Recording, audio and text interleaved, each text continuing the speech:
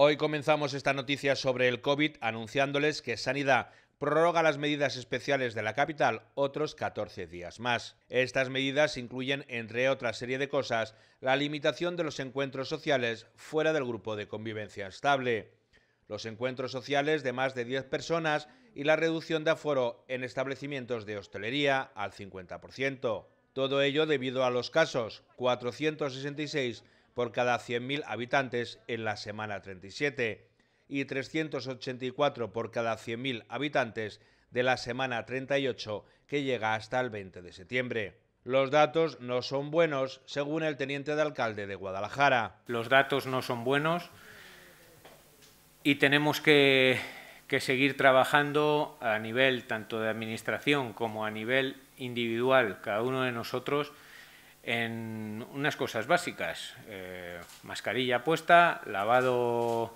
eh, frecuente de, manos y evitar las, aglomeraciones tanto en lugares cerrados como en públicos. Pues si se dan cuenta, pues eh, las medidas son exactamente las mismas que hace 14 días.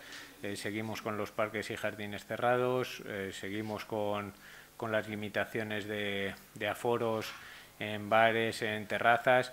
O sea que con esas tres medidas eh, básicas yo creo que podemos pegar un empujón a, solucionar esta, esta situación tan difícil que tenemos a día de hoy.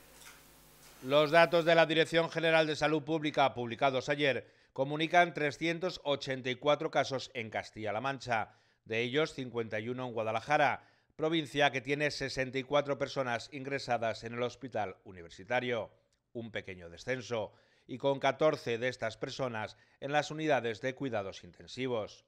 Ayer no tenemos que lamentar fallecimientos en la provincia de un total de 8 en toda Castilla-La Mancha.